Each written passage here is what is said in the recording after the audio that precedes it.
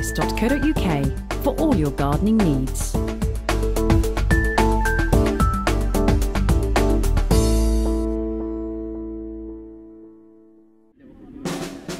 Hello, and welcome to the plantadvice.co.uk video podcast from the 2012 RHS Chelsea Flower Show. As always, the Chelsea Flower Show is a spectacular event, and in its 99th year, this year the Chelsea Flower Show coincides with the country's celebrations for the Queen's Diamond Jubilee and the London 2012 Olympics.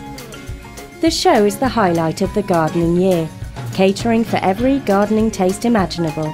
And while the show has much to offer, the show gardens are without question the star attraction.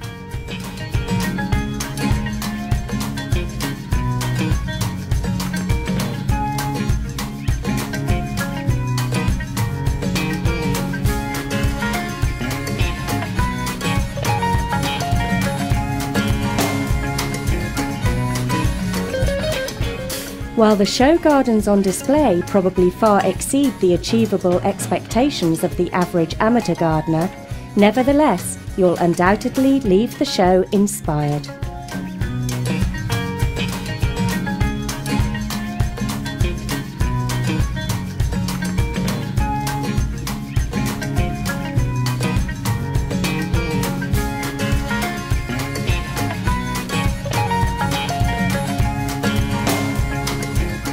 During the show, we caught up with the award winning garden designer Andy Sturgeon, who designed the M&G garden.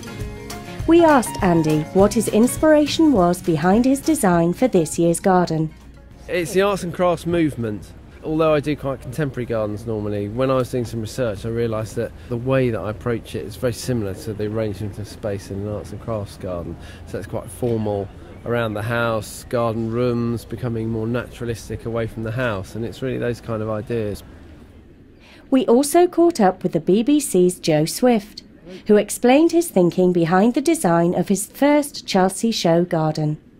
Well, the idea is living in an urban or suburban situation that you don't actually come into contact with lots of natural forms. There's a lot of concrete, glass, and steel and stuff like that around. But I actually wanted to bring you know, natural stone and timber into the garden as much as possible, even if it was a boulder. But I didn't want to just put a big lump of boulder in. I wanted to do something with it. So slice it up a bit and turn it into a sculptural form. As well as the larger show gardens, the Chelsea Flower Show also features a group of gardens called the Artisan Gardens. These gardens show what can be achieved in a small space and on a low budget, with the designers using traditional artisan techniques and materials.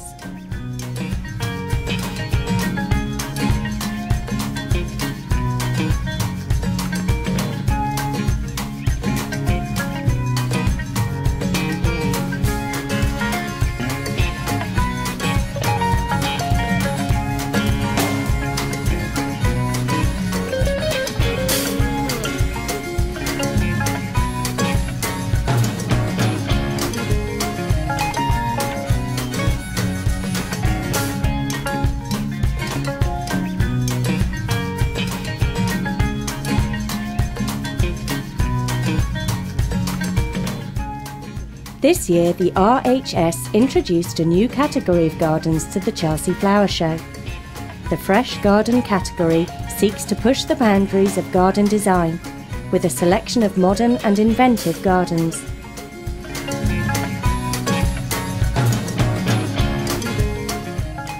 Although not everybody's cup of tea, these garden designs will certainly challenge your idea of what garden design is all about. While this category has some nice gardens with some interesting ideas, perhaps the concept of blue string and barcodes in the garden is just a little too avant garde for the average gardener.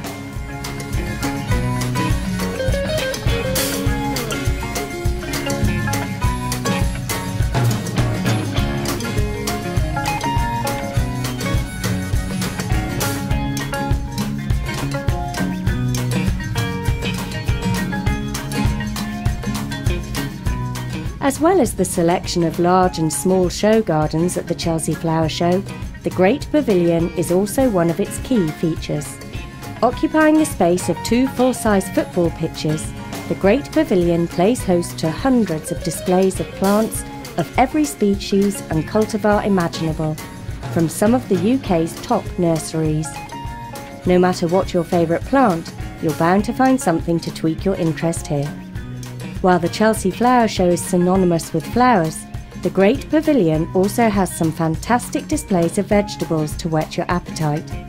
We bumped into the Michelin starred celebrity chef Raymond Blanc, who enthused about growing his own fresh garden produce. The garden was not just about flowers, it was about growing vegetables and food. And the garden effectively created all the food, not only for the summer, but also for the winter.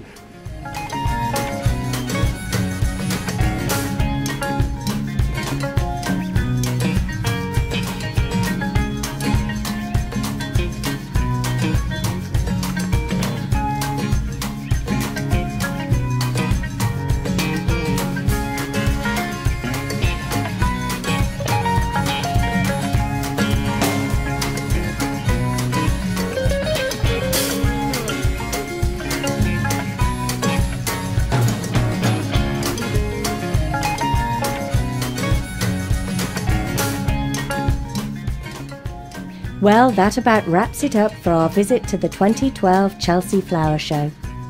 We hope you enjoyed our brief tour of the show and look forward to next year's show, which promises to be an even more spectacular event celebrating the show's centenary.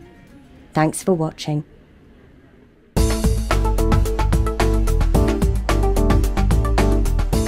plantadvice.co.uk for all your gardening needs.